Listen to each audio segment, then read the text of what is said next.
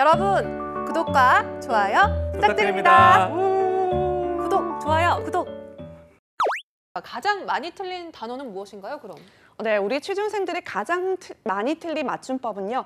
뒤처지지라고 하는데요. 뒤처지지. 네, 무려 뒤처지지. 저 어를 틀리는 65.3%의 오답률을 기록했다고 합니다. 네. 어, 어떤 수준이나 대열에 들지 못하고 뒤로 처지거나 남게 되다는 뜻의 뒤처지지를 뒤처지지로 잘못 하는 경우가 많다고 여로 하더라고요. 잘못 네, 썼다. 어를 맞습니다. 여로. 음, 네. 그렇구나. 아, 이거 그는 이거를 진짜 잘못하시는 분들 굉장히 많을 것 음, 같다는 네. 생각이 드는데 이건 뭐 저 같은 경우는 한글 공부만 이렇게 좀 하면서 네. 알고 있어요. 틀리기 쉬운 그런 네. 단어거든요. 이런 거 모르면 뒤쳐집니다.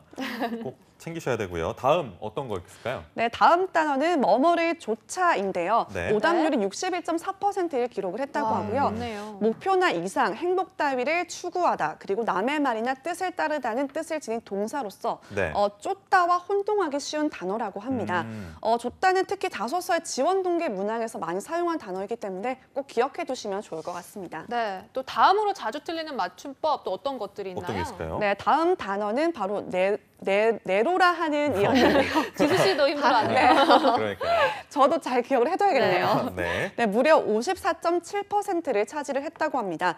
어, 네로라는 어떤 분야를 대표할 만하다라는 의미의 동사로서 어, 100, 100여 개 팀 사이에서 대상을 받았다. 네로라 하는 경쟁사를 제친 성과 등 자소서 대부분 문항에서 쓰는 단어이기 때문에 이 부분 역시 꼭 기억해 두시면 좋을 것 아니 같습니다. 이게 어, 진짜 헷갈릴 만한 것들이에요. 네, 맞습니다. 다음 어떤 단어 좀 계속 만나볼까요? 기출 문제. 네.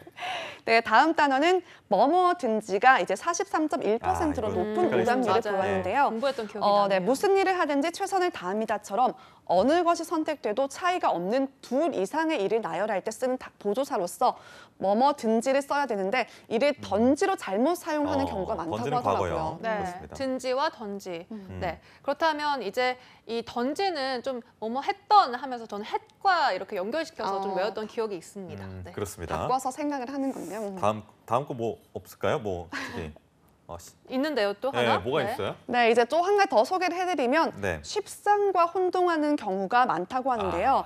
아. 쉽상 우리말에 없는 틀린 표현이니까 이 점을 좀 기억해 아, 두시면 좋을 네. 것 같고요. 그러니까요. 또 계속해서 틈틈이 그리고 뭐뭐로서 며칠이고 그리고 무릅쓰고 역할 음. 순으로 아, 맞아요. 오답률이 무릎. 높았다고 하고요.